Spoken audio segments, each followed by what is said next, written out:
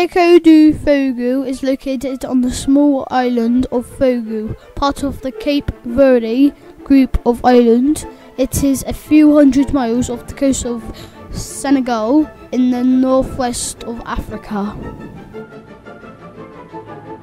Here you can see the location of the island in more detail. Pico do Fogo is a stratovolcano. This means it has been built up from many layers of hardened lava. Stratovolcanoes usually form where an oceanic crust is pushed under a continental crust. The force of the two plates colliding force red hot magma under the volcano to form a chamber which eventually builds enough pressure to cause an eruption.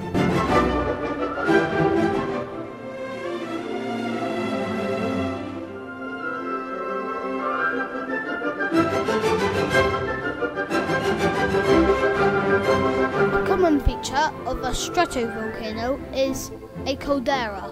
Caldera is a Spanish word that means cauldron or cooking pot. A caldera happens after a volcano erupts.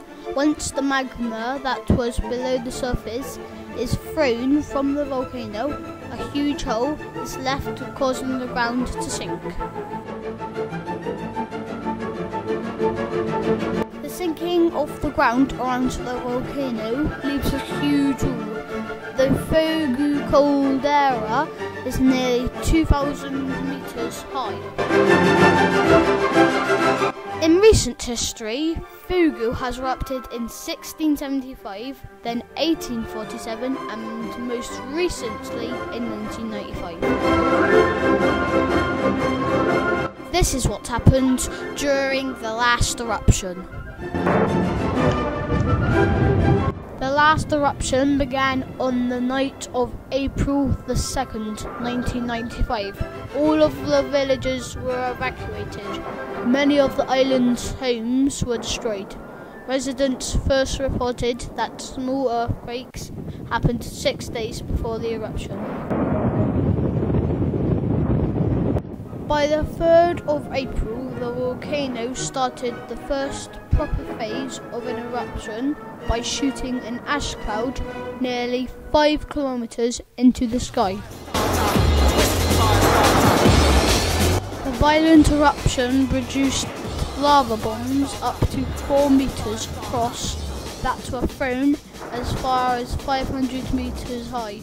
By April the 4th, the lava fountains reached 400 meters high.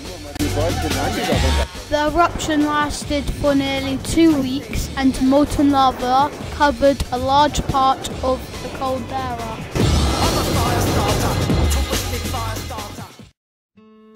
The Portuguese speaking natives wait for the next eruption. Da da da!